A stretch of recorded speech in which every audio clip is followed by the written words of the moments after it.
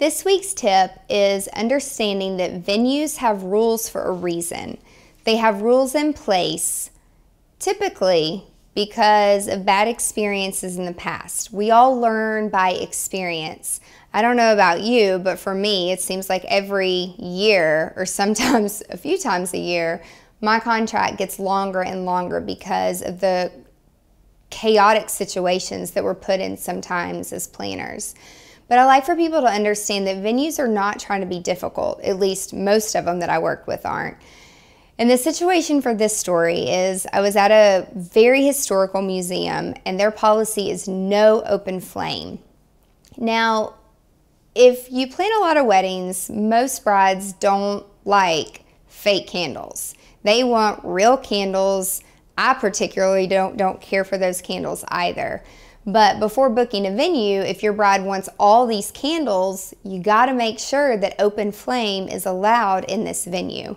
So there, this particular venue, I knew just from doing previous weddings there, we could not have open flame. And I'd already addressed that with the florist, but on the actual wedding day, the caterer shows up who was not familiar with the venue and who brought open flames for the sternos that go up under the, the chafing dishes that keep the food hot basically. And someone had accidentally walked by and knocked something off of the table. The table collapsed because the leg had not put had not been put in place properly. And of course, the sterno fell. It caught a linen on fire.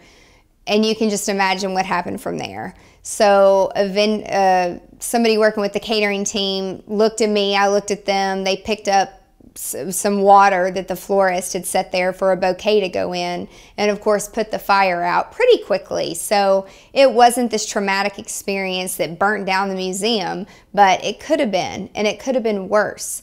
And of course, the caterer felt horrible, not even thinking that open flame, meaning sterno flames to keep the food hot. So when I work at that venue, I suggest the caterer cook off site or we do a cooking tent outside of the museum that museum also requires that the client get a million dollars worth of insurance. So if something does happen, it's covered, but you don't ever want to have to use that policy, right? So make sure that you're following the rules as the planner make sure that the vendors know what the rules are and they're there for a reason. Did you like this video? If you did, like it, subscribe, and share it with your friends. You can even leave me a comment, and if you have a wedding planning question, send it my way. If you want even more great resources to create a productive and profitable wedding planning business, plus some email updates from me that I only talk about in my email, come on over to my website, angelaproffitt.com, and be sure to sign up for email updates. Thank you so much for tuning in to Productive and Profitable Wedding Planning on APTV.